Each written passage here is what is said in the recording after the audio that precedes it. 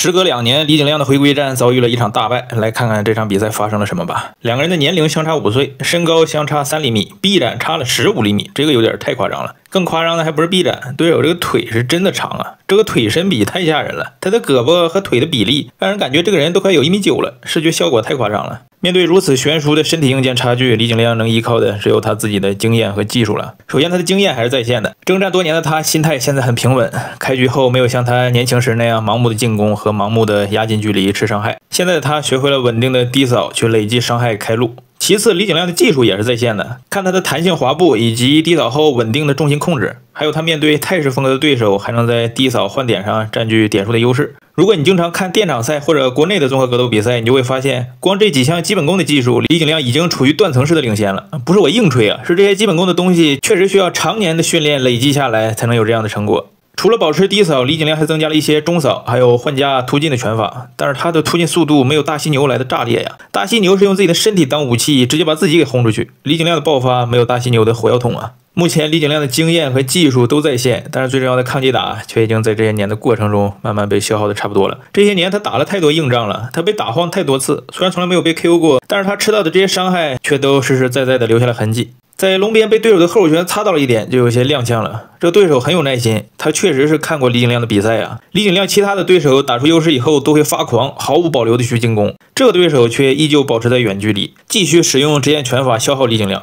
李景亮的进攻都被他用滚肩轻松的躲过了。他这种防守方法很依赖身高，以后他遇到身高接近的对手就有风险了。对手的直线拳法射程太远了，而且启动还快，李景亮的拳法反击都被他躲过了。身高有差距，启动速度又不够，抡了半天一下重拳也没抡到，又被对手堵到了龙边，还是后直拳，再次被打的有些踉跄，连续两次被打的踉跄，李景亮的节奏已经乱了。他在横向移动的时候，被对手一个超远距离的后手拳拦截，这一拳的射程太远了，看对手的左脚蹬地，左拳发出，这距离得有两米多远了，这一拳的距离比一般的高扫距离还要远。这次实实在在的把李景亮给打倒了，如果没有龙网就倒地了。对手还是那么有耐心。而且他还开始祭出自己的大杀器，中断顶膝。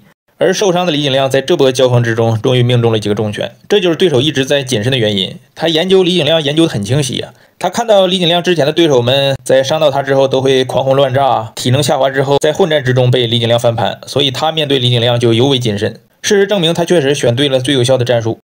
通过第一回合末端的击倒，对手在第二回合信心大增，状态彻底放松下来了，彻底切换成了泰拳模式。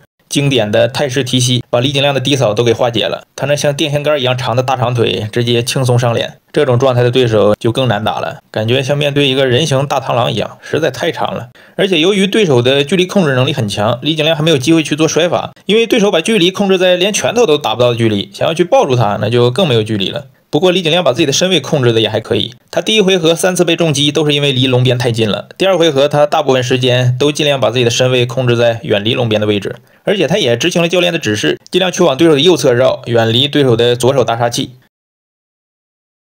但是这次搂抱分开以后，被对手一个超人拳又钉在了龙边，留在龙边吃了重拳和高扫。这次虽然没被击倒，但是也像第一回合一样，李景亮又被重击打乱了节奏，他急着向前压迫，出手很乱。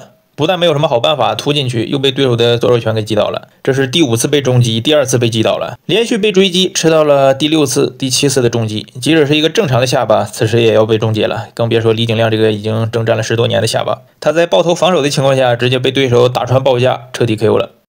在李景亮被终结的前几秒钟，解说员还一直在说李景亮太疯狂了，他从来没有被人 KO 过。刚说完，这次就被真的 KO 了。对手的表现证明了他的战力终结能力，他拥有这样的实力，怪不得他才打了两场 UFC 的比赛就能安排李景亮这种知名度的选手。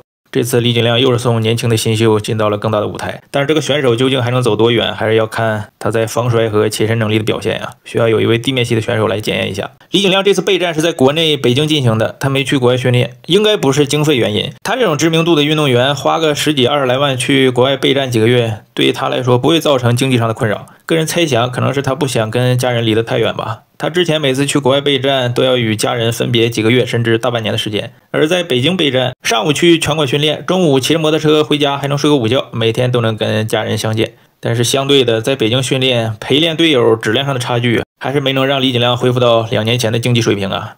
在美国训练，李景亮能跟伯恩斯、沙夫卡特、因加里、卢奎这些排名靠前，甚至接近冠军水平的选手去训练。同时，他们战队还有很多中量级、轻重量级的大级别选手去进行摔肉训练。但是，在国内，别说排名内的选手了，比李景亮级别大的队友都找不到。也就是说，这次的备战训练，李景亮留在了舒适圈。这当然也不能怪他，因为他已经三十六岁了，他需要更多的时间去陪伴家人，尤其是在他两个孩子上学这个阶段。希望大家能够对他多一些宽容与理解吧。